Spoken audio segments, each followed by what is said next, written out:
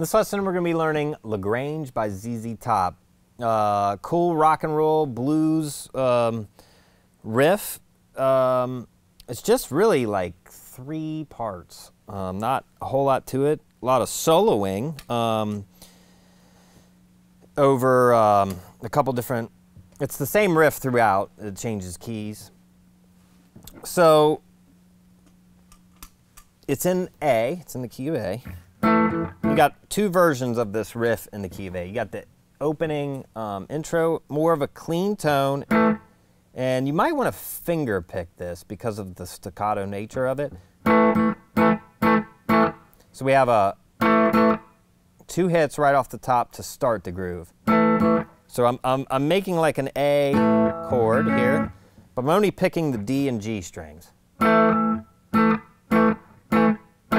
So I got the two initial hits and then four um, quarter notes, oh, I'm sorry, eighth notes after that.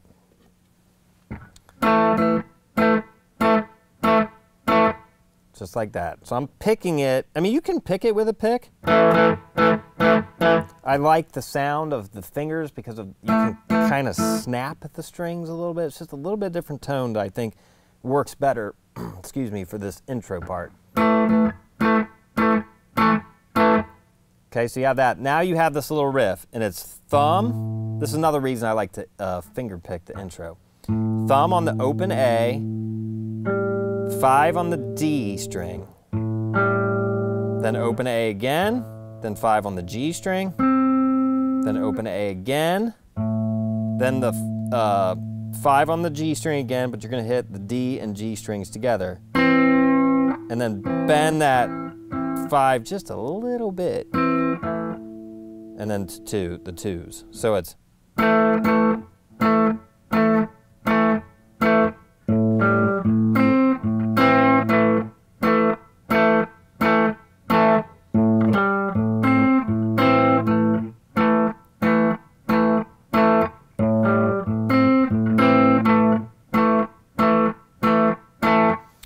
So one thing to note as you're repeating this lick is that the first time when you hit these twos back to back, okay, the at the end of the riff, the that serves as that same function. It starts the next bar as those two eighth notes back to back without the rests in between.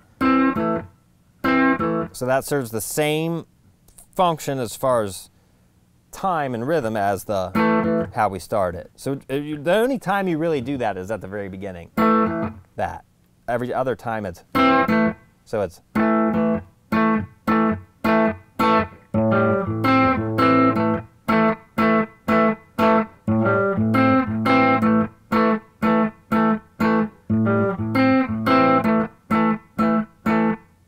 And then at some point, I don't know exactly how many times he plays it, it stops.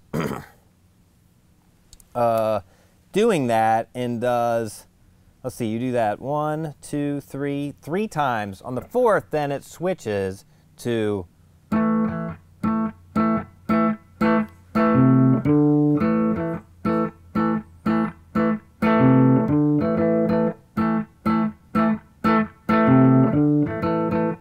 So now it's three, five on the A string, and then there's three sequ sequential eighth notes. So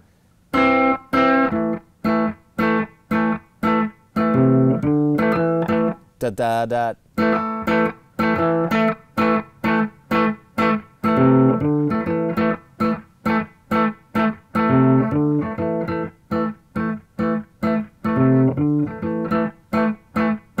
Okay, that's when he starts coming in with the vocal, I believe. So, you know, in uh, real time or up to the tempo, it's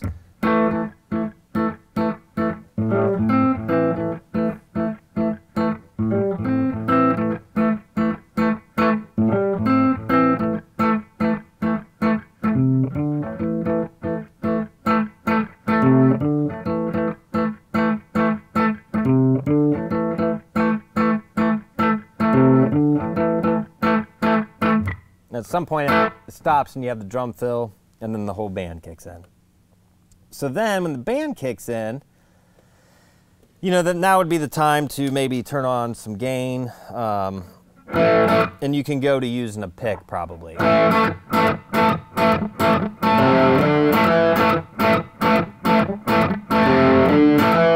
And it's the same exact riff as that second part where the vocals come in in the intro.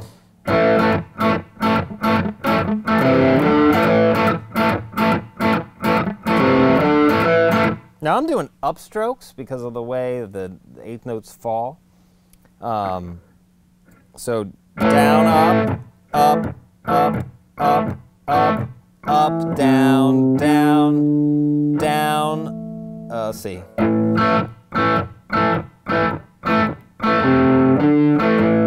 So it's down, down, up, down, up to start the next thing. Down, up, up, up, up, up, up, down, down, up, down, up, up, down, up at the end.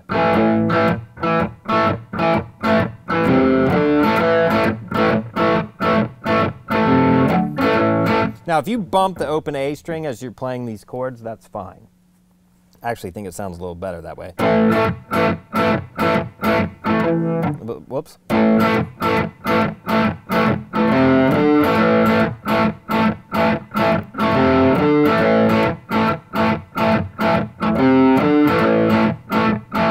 Now, at some point, that makes a hard stop, another drum fill, and the whole thing switches to C. So to play in C, it's the same exact riff. You can't play the open A now because we're in C. So it's five on the D, five on the G, six, eight. Everything else is exactly the same.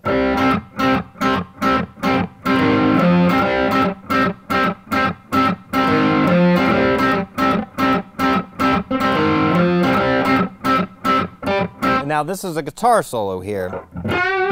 Now it's if you want to solo over it,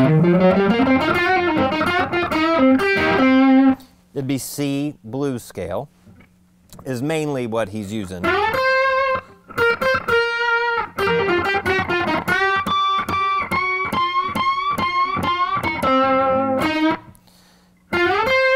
Maybe a little bit of like a major pentatonic some in there. It's something, it's a cool jam to experiment with, put on the record and play along.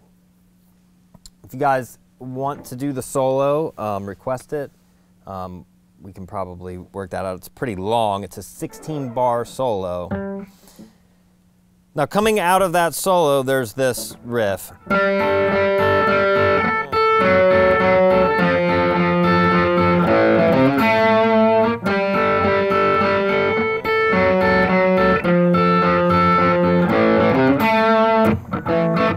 and then it goes back to the intro. That little thing, I'm doing a little hybrid picking here with my pick and my fingers. You don't have to.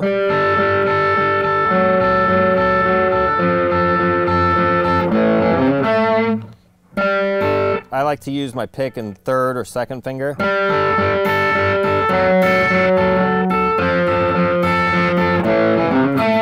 So it's five on the D, five on the E string. Then you move just your first finger back to four, keep your third finger there. Then three. So it's.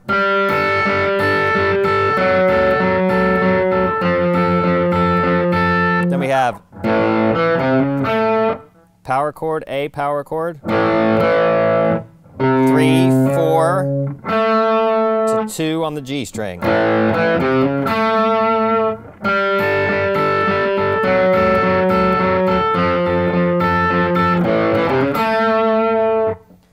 That's it. That's all the parts to the song. Um, later, they go into a it goes into a breakdown again, like the intro, and then I think they come back in, and it's a, another solo over the A chord changes. So it.